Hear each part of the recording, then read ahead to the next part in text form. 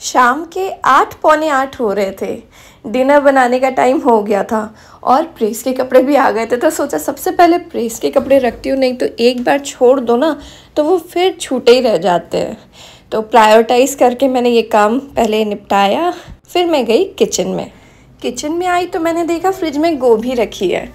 तो सोचा चलो गोभी की रसदार वाली सब्ज़ी बनाती हूँ। तो सबसे पहले उसके लिए मैंने दो टमाटर ले लिए थे और टमाटर को ना मैं रफली चॉप कर लूँगी, क्योंकि मैं रसदार सब्ज़ी बना रही हूँ ना तो इसे हम बाद में पीस लेंगे।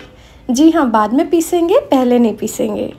चलिए, अब सब्ज़ी मैं कुकर में बनाने वाली हूँ तो मैंने कुकर ले लिया है। अब इसमें मैं डाल दूँगी सरसों का तेल, एक चम्मच के करीबन मैंने डाल दिया है। और तेल जब धुआँ छोड़ने लगेगा तो इसमें मैं डाल दूँगी एक चम्मच जीरा और हल्दी भी डाल दूँगी। तेल में डायरेक्ट हल्दी डालने से ना काफ़ी अच्छा कलर आता है और तुरंत ही इसमें मैं टमाटर डाल दूँगी, जो कि हमने कट करके रखे थे। नमक स्वाद अनुसार डाल दीजिए। अब इसे मैं मिक्स करके थोड़ी देर रखूँगी ताकि टमाटर जो है गल जाए। तो मैं ढक्कन को ना लगा नहीं रही हूँ, बस ऊपर से ढक दे रही हूँ। आप प्लेट से भी ढक कर रख सकते हैं। जब तक हमारे टमाटर गल रहे थे, तब तक मैंने यहाँ पर आटा भी लगाने के लिए ले लिया है। आटा गूंदने के लिए पानी लेने गई तो सोचा एक गिलास मैं भी पी लेती हूँ। पानी पीना ना भूल ही जाते हैं तो बीच बीच में जब भी याद आ जाए ना, पानी पीते रहना चाहिए।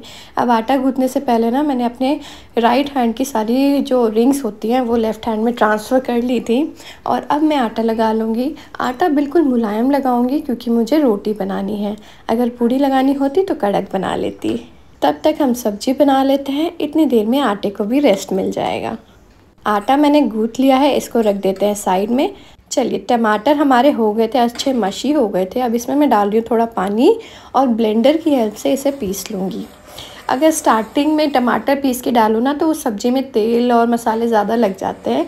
चलिए, टमाटर पीस लिए थे तो अब इसमें सूखे मसाले, कुछ ज़्यादा फैंसी नहीं, बस धनिया पाउडर और लाल मिर्च पाउडर मैंने डाल के अच्छे तरीके से मिक्स कर दिया है। ऑलरेडी कलर इतना अच्छा लग रहा है। अब जब मैंने आलू और गोभी कट करके रखे थे, वो भी मैं इसमें डाल दे रही हूँ। ज़्यादा बड़े बड़े भी नहीं और ज़्यादा छोटे भी नहीं, क्योंकि रसदार बना रहे तो हल्के से तो बड़े रखेंगे। चलिए, अब हम कुकर का ढक्कन लगा देंगे और इसमें ना करीबन दो से तीन सीटी ले आएँगे। चलिए, जब तक हमारी सब्ज़ी हो रही है, तब तब तक मैं रियांश को थोड़ा सा पढ़ा लेती हूँ। तो वैसे भी छोटे बच्चों के लिए ना दस पंद्रह मिनट पढ़ाओ, फिर गैप दो, इतने में वो खुश रहते हैं। चलिए, ऑलमोस्ट सब्ज़ी हो गई है, सीटी आ गई है सब्ज़ी में। और आशीष मेरी हेल्प कर रहे थे सैलेड कट करने के लिए। तो सैलेड हमारा कट हो गया है। सब्ज़ी भी ऑलमोस्ट हो गई है। देखिए, मैं खोल के दिखा रही हूँ। कितनी अम्मी दिख रही है? मतलब सब्ज़ी में ऊपर से मैं डाल देती हूँ बारीक कट हुई हरी धनिया पत्ती और थोड़ा सा गरम मसाला। बस मिक्स करेंगे और सब्ज़ी सर्व करने के लिए बिल्कुल रेडी है। मुझे ना ऐसी लिटपट्टी गोभी आलू की सब्ज़ी अच्छी लगती है। आपको कैसी अच्छी लगती है? आप चाहे तो इसमें पानी की क्वान्टिटी बढ़ा भी सकते हैं, थोड़ी कम भी कर सकते हैं। चलिए, अब हम गर्मा गर्म रोटियाँ सेक लेते हैं, क्योंकि रात का टाइम मोस्टली ऐसा टाइम होता है जब आप गर्मा गर्म रोटी फैमिली के साथ बैठ के खा सकते हैं। क्योंकि लंच के टाइम पे तो कोई कहीं बिज़ी होता है तो हो नहीं पाता है।